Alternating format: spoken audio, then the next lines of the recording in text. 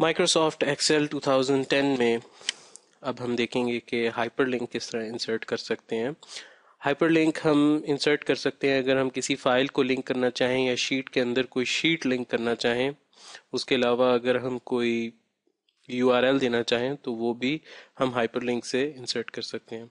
उसके लिए सबसे पहले आप उस सेल पर क्लिक कीजिए जहाँ पर आप चाहते हैं कि हाइपरलिंक इंसर्ट हो।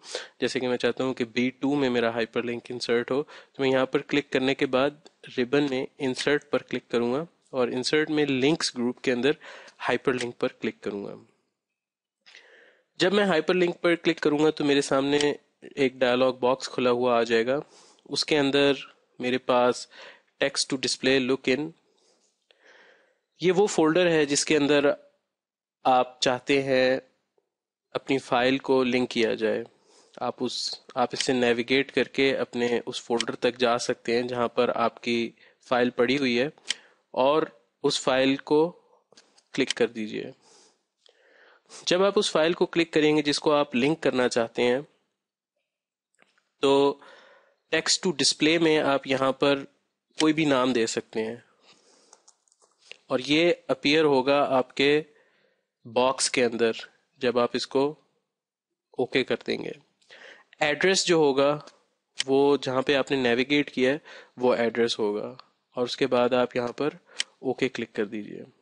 जब आप ओके okay क्लिक करेंगे तो आपके सामने एक ब्लू रंग का हाइपरलिंक बना हुआ आएगा। अगर आप इस पर क्लिक करेंगे तो आप देखेंगे कि आपके सामने एक छोटा सा टूल टिप बना हुआ आएगा, जिसमें आपको उसका पाथ नज़र आएगा।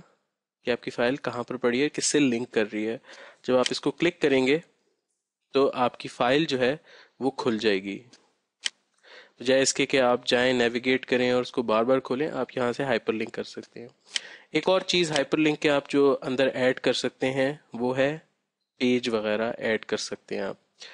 आप वेब ब्राउज कर सकते हैं उसके लिए, या फ़ाइल जो है इंसर्ट कर सकते हैं उसके लिए। तो ब्राउज पेजेस में आप जाकर यहाँ पर उसका एड्रेस दे दीजिए। जब आप एड्रेस देंगे तो आप टेक्स्ट डिस्प्ले में लिख दीजिए एड्रेस और यहाँ पर आपने एड्रेस दे दिया और ओके कर दीजिए।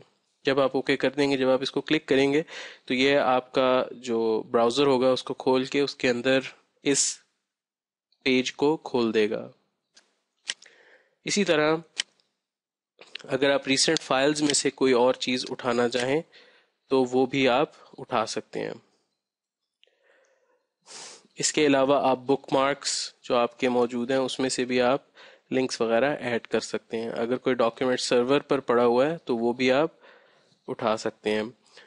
तो हमने पहला देखा एग्जिस्टिंग फ़ाइल और वेब पेज इसके अलावा अगर मैं अपने शीट्स को आपस में लिंक करना चाहूँ तो मैं कर सकता हूँ। प्लेस इन दिस डॉक्यूमेंट अब फ़र्ज़ करें मेरी जो दूसरी शीट है, उसका नाम है एस टू ठीक है? और मैं चाहता हूँ कि इस शीट में यहाँ पर एस टू का लिंक मौजूद हो। तो मैं हाइपर लिंक पर जाऊँगा प्लेस इन दिस डॉक्यूमेंट और एस टू पर क्लिक कर दूँगा। लेकिन मैं चाहता हूँ कि एस टू में शीट टू डिस्प्ले हो और उसके अलावा मैं चाहता हूँ कि सेल जो रेफरेंस हो, वो हो बी वन और मैं ओके कर देता हूँ। अब जब मैं क्लिक करूँगा तो मैं फ़ौरन बी वन पर पहुँच जाऊँगा और शीट टू के अंदर पहुँच जाऊँगा। इसी तरह मैं अगर नया डॉक्यूमेंट कोई क्रिएट करना चाहूँ तो उसके अंदर नए डॉक्यूमेंट का नाम देकर मैं ओके कर दूँगा और उसका लिंक क्रिएट हो जाएगा। अगर मैं कोई ईमेल एड्रेस यहाँ पर डिस्प्ले करना चाहूँ तो वो भी कर सकता हूँ। और यहाँ पर ओके कर दूँगा मैं।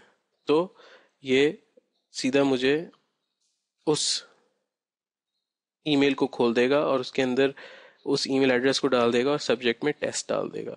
तो ये है हाइपरलिंक इंसर्ट करने का तरीका एक्सेल 2010 में।